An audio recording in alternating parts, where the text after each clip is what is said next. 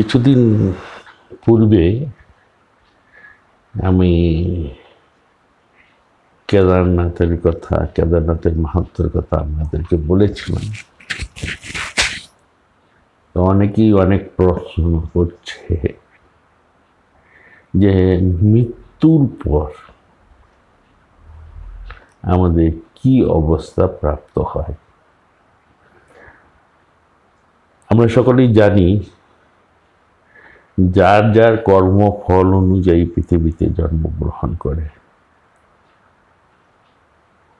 যাদের অধ্যাত্ম লাভ হয়,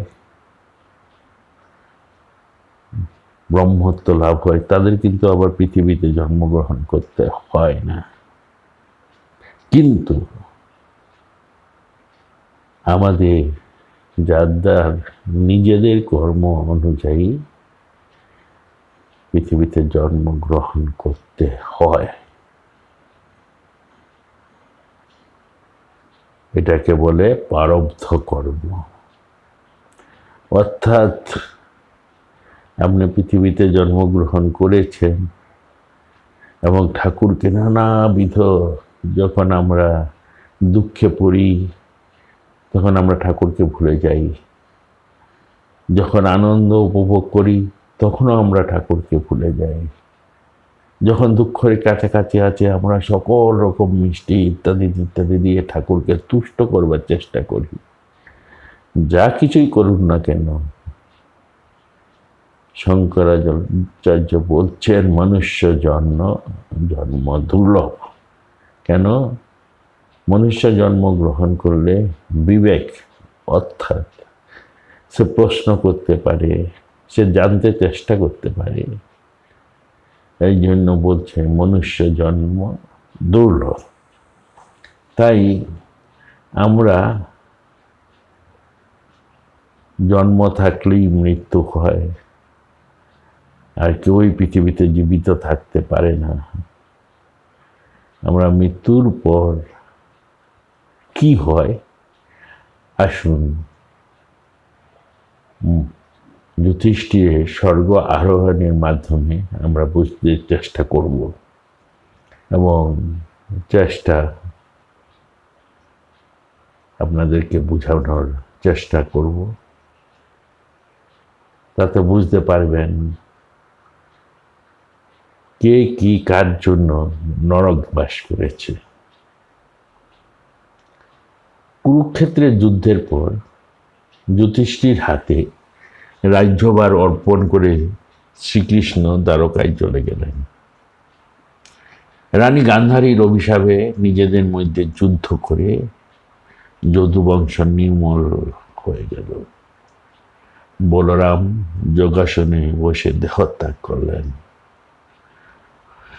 পরামর্শদাতা শ্রীকৃষ্ণ জরা নামক শিকারীর তীরের আঘাতে দেহত্যাগ করলেন। দ্বারকী, দ্বারুক সারথীর মাধ্যমে খবর পেয়ে অর্জুন দ্বারকায় গিয়ে দেখলেন শ্রীকৃষ্ণ ও বলরাম দুই ভাই দেহত্যাগ করেছেন। তারপর শ্রীকৃষ্ণের পরলৌকিক ক্রিয়া অর্জুন নিজে সম্পন্ন করে হস্তিনাপুরে ফিরে আসেন। আত্মীয় স্বজন বন্ধু বান্ধব ও শ্রীকৃষ্ণের শোকে পাণ্ডবদের আর রাজ্য শাসনের কথা মনে ছিল না। যুধিষ্ঠির পরামর্শে সবাই ঠিক করলেন যে তারা মহাপ্রস্থানে যাবেন।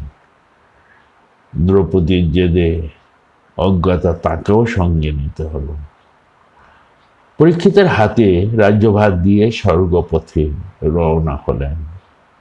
পূর্বমুখে তারা অগ্রসর হলে অগ্নিদেব পদরোধ করে কিছু খাদ্যে, খাদ্য চাইলে অর্জুন তার গান্ডীব ধনুসহ দিব্য অস্ত্র অগ্নিকে প্রত্যাপন করলেন। একটি কুকুর তাদের সঙ্গে নিল সেখান থেকে। সবাই হিমালয়ের পথ ধরে এগিয়ে চললেন, কিন্তু কেউ দেখলেন না, এক কুকুর তাদের সাথী হয়ে পিছনে চলছে। তারপর কত বন, কত পর্বত, কত নদী অতিক্রম করে মেঘনাথ পর্বতে গেলেন। সেখানে দানবদের যুদ্ধে পরাস্ত করে তারা কেদার পর্বতে আরোহণ করলেন। এবার উত্তর মুখে রয়না হলে পথে এক ভীষণ রাক্ষসী তাদের পথ আটকালে ভীম অবিলীলাক্রমে রাক্ষসীকে নিপাত করেন। এবার পাণ্ডবরা ভদ্রকালী পর্বতে এলে এখানকার কালীমূর্তি ভদ্রকালী যুধিষ্ঠিরকে বর প্রার্থনা করতে বললে যুধিষ্ঠির জোর হাতে কালীর নিকট কলিকালে জাগ্রত থাকার বর চাইলে। মা কালী বললেন, তথাস্তু এরপর তারা হরিপর্বতে এলে এখানকার হিম শীতলতায় দ্রৌপদী কিছুক্ষণের মধ্যেই দেহত্যাগ করলেন। ভীম ধর্মরাজ যুধিষ্ঠিরকে প্রশ্ন করলেন, কোন ভাবে দ্রৌপদীর মৃত্যু হলো? ধর্মরাজ বললেন, পঞ্চস্বামীর মধ্যে অর্জুনের প্রতি তার আকর্ষণ বেশি থাকায় পাপে দ্রৌপদীর মৃত্যু হলো। আবার শুরু হলো পথ চলা। বদ্রিকাশ্রমে গিয়ে তারা দেখা পেলেন পুত্র অমর অশ্বত্থামার। সেখানে কিছুকাল বিশ্রামের পর সহদেবের মৃত্যু হলো। ভীমের প্রশ্নে জ্যোতিষ্ঠির বললেন, জ্যোতিষরূপী ভাই সহদেব ভূত, ভবিষ্যৎ ও বর্তমান সবই জানা ছিল। পাশা খেলায় আমার হার হবে জেনেও সে আমাকে সাবধান করেনি বায়নাবতে আমাদের পুড়িয়ে মারা হবে জেনেও আমাদের সতর্ক করে দেয়নি। এই তার পাপ। তারপরে তারা এলেন চন্দ্রকালী পর্বতে। এখানে নকুলের মৃত্যু হলো। ভীমের প্রশ্নে জ্যোতিষী বললেন, কর্ণের সঙ্গে যখন আমার যুদ্ধ হয়, তখন নকুল আমার কাছে ছিল। কিন্তু আমি যুদ্ধ করতে করতে দুর্বল হয়ে পড়েছিলাম। দেখেও আমার সাহায্যে অগ্রসর হয়নি। এই ছিল তার পাপ। পরবর্তী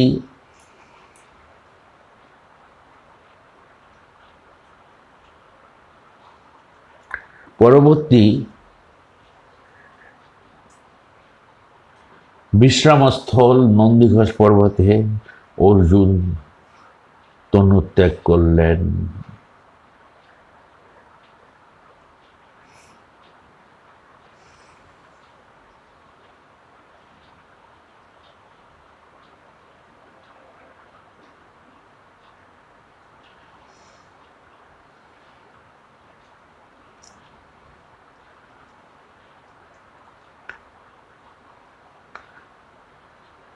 আমরা এতক্ষণ ধরে শুনছিলাম একটার পর এক। এখন পর্যন্ত আমরা দেখতে পাচ্ছি যে চন্দ্রকালী পর্বতে ভীমের প্রশ্নে যুধিষ্ঠির বললেন যে, নকুলের কথা। আমি যুদ্ধ করতে করতে দুর্বল হয়ে পড়েছিলাম, দেখেও আমার সাহায্যে অগ্রসর হয়নি। এই ছিল তার পাপ পরবর্তী বিশ্রামস্থল নন্দীঘোষ পর্বতে অর্জুন তনুত্যাগ করলেন। প্রেমের প্রশ্নে দুস্থিত বললেন, অর্জুনের পাপ হলো সে দ্রৌপদীকে। আরও সব কিছুকে হেয় জ্ঞান করত। চলতে চলতে এরপর সমস্যার পর্বতে মৃত্যুবরণ করেন ভীমসেন। হাহাকার করে বিলাপ করতে লাগলেন ধর্মরাজ যুধিষ্ঠির। এক এক করে স্মরণ করতে লাগলেন ভীমের বীরত্ব কাহিনী। তারপর তার মনে হলো, ভীম কোন পাপে মারা গেল? অমনি ধর্মরাজের মনে পড়ল, পৃথিবীর যাবতীয় খাদ্যবস্তুর উপর প্রচণ্ড লোভ ছিল তা বক্সদ্রব্য দেখে সে আর সহ্য করতে পারত না। লোভেই হলো তার মৃত্যুর কারণ। এবার ধর্মরাজ যুধিষ্ঠির একা ধীরে ধীরে স্বর্গের পথে অগ্রসর হতে লাগলেন। আর পিছনে ছিল তার অনুগামী সেই কুকুর। গন্ধর্ব পর্বত আরোহণের সময় হিমালয়বাসী মুনি ঋষিগণ এক এক করে দেখা করতে আস, আসলে তিনি প্রত্যেককে প্রণাম করে আশীর্বাদ প্রার্থনা করলেন। এইভাবে চলতে চলতে স্বর্গের দ্বারে উপনীত হলেন। দ্বারপাল দেবরাজ ইন্দ্রকে সংবাদ দিলে রথ নিয়ে চলে আসেন। কিন্তু দেবরাজের ইচ্ছা হলো ধর্মরাজকে একবার পরীক্ষা করতে। তাই তিনি এক বৃদ্ধ ব্রাহ্মণের রূপে জ্যোতিষীর সম্মুখে উপস্থিত হলেন। বৃদ্ধ ব্রাহ্মণের রূপে স্বয়ং দেবরাজ ইন্দ্র জ্যোতিষীকে তার পিছনের কুকুরটিকে দেখিয়ে বলল, জ্যোতিষীর, ওই কুকুরটিকে ত্যাগ করে তুমি স্বর্গে প্রবেশ করতে। কিন্তু তিনি কুকুরকে কিছুতেই প্রবেশ করতে দেবেন না। তখন জ্যোতিষীর করজরে বললেন, এই অবলা জীবটি আমার মতনই কষ্ট করে এই স্বরের দ্বারকে পৌঁছেছে। তাই হয় আমাদের দুজনকে প্রবেশের অনুমতি দেওয়া হোক, নয়তো আমরা এখানেই থাকব। তখন সেই কুকুর নিজ মূর্তি ধারণ করে, তিনি ছিলেন ধর্ম তিনি বললেন, হে যুধিষ্ঠির, আপনি সত্যিই ধর্মের এক রূপ। ধর্মরাজ যুধিষ্ঠির তৎক্ষণা লুটিয়ে পড়লেন তাঁর চরণে। ধর্ম বললেন বর্ষ তুমি আমার পুত্র। আমার ঔরসে কুন্তির গর্ভে তোমার জন্ম। ধর্মে পাশে দাঁড়ানো বৃদ্ধ ব্রাহ্মণের দিকে চেয়ে বললেন ইনি দেবরাজ ইন্দ্র, ইনি রথ নিয়ে এসেছেন তোমাকে স্বর্গে নিয়ে যাবার জন্য। পতব্রেজে অনেক ক্লেশ সহ্য করেছে পুত্র। এবার রথে আরোহণ করো। দেবরাজের ইঙ্গিতে সারথি রথ নিয়ে এলো সব। সকলে তাতে আরোহণ করে স্বর্গা অভিমুখে অগ্রসর করেন স্বর্গপুরে বিরাট সম্বর্ধনার মধ্যে যুধিষ্ঠিরকে স্বাগত জানানো হলো। দুজনে মিলে যখন স্বর্গে প্রবেশ করলেন, যুধিষ্ঠির দেখলেন যে সেইখানে কৌরবরা রয়েছেন, কিন্তু পাণ্ডবকে তিনি দেখতে পেলেন না। তারা কোথায়? তা জানতে চাইলে যমরাজ বললেন, তারা সবাই নরকে যুধিষ্ঠির অবাক হয়ে জানতে চাইলেন, কৌরব স্বর্গে আর পাণ্ডবরা নরকে কেন?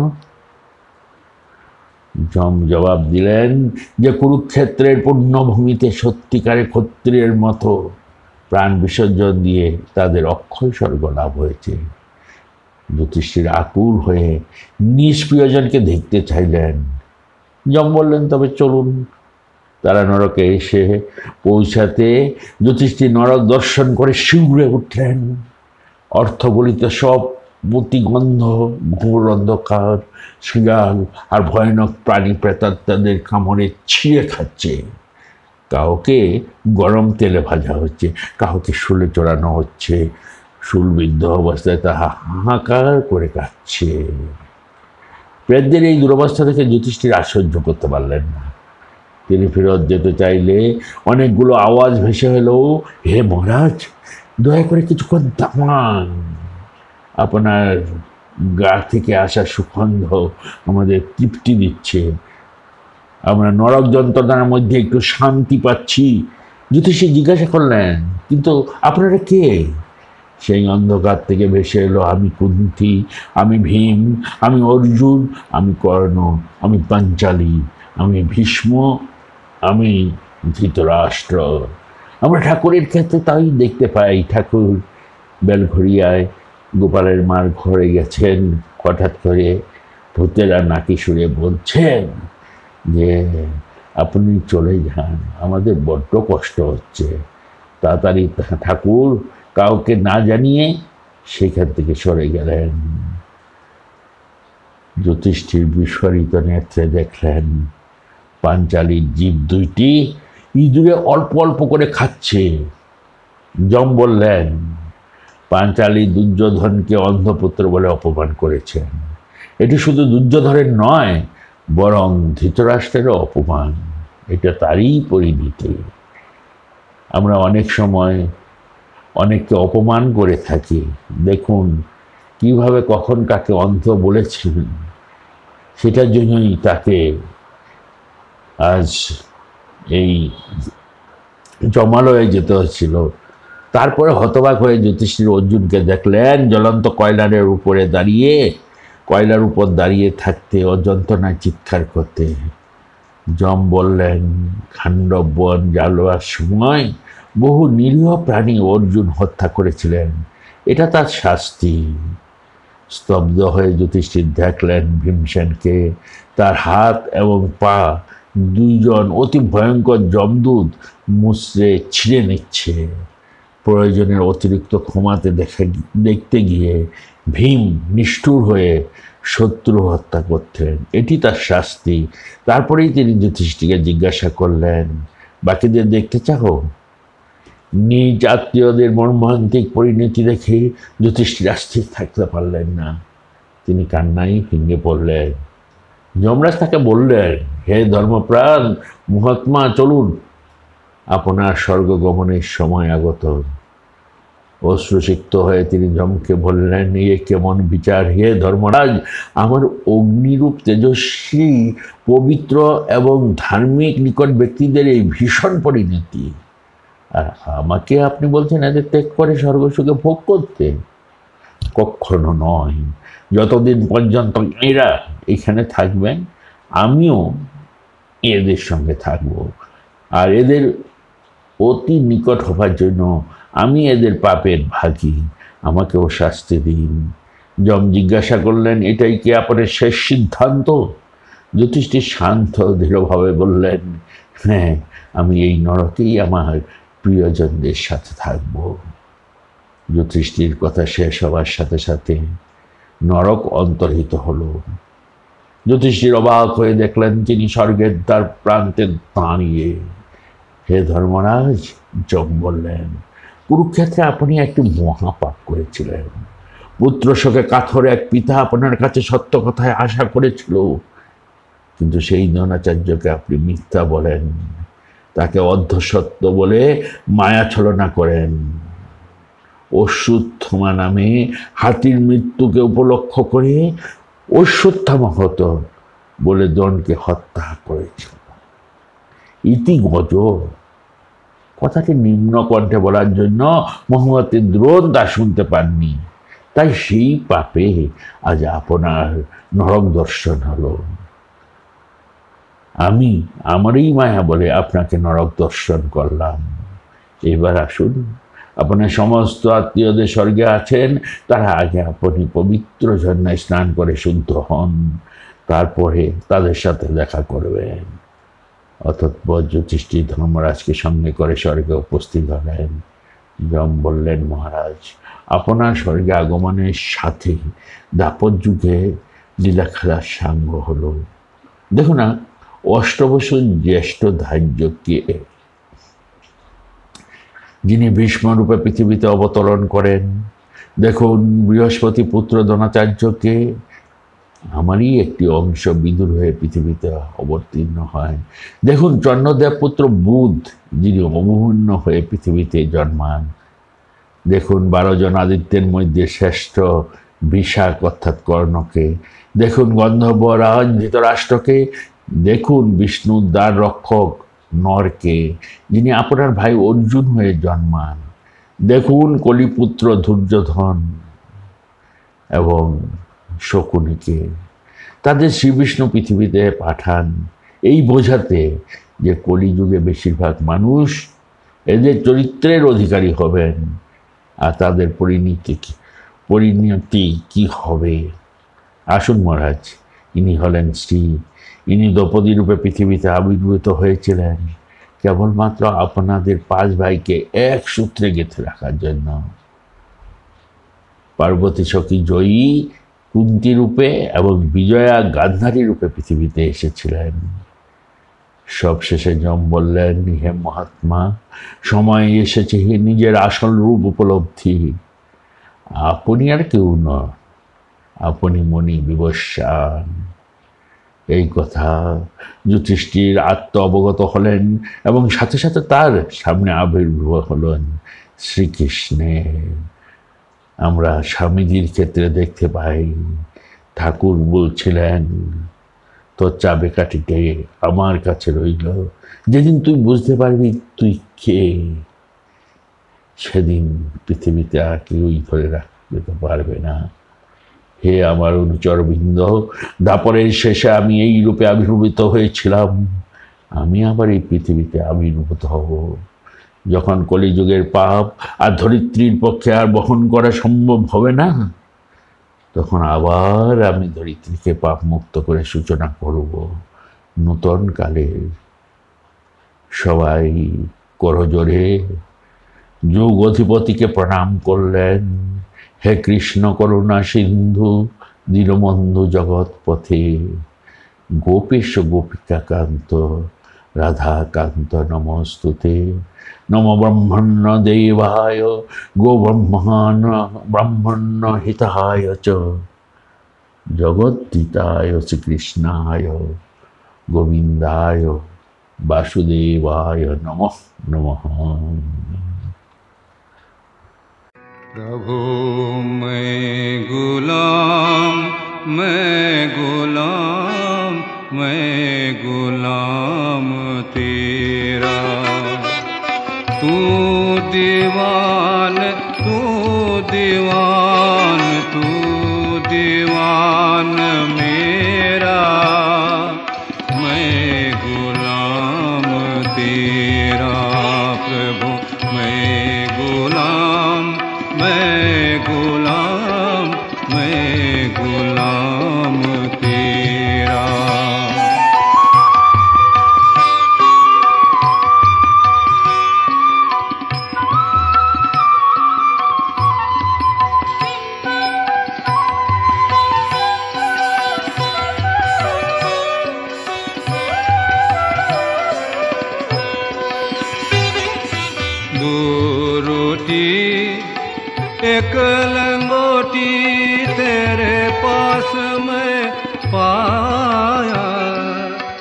तिभा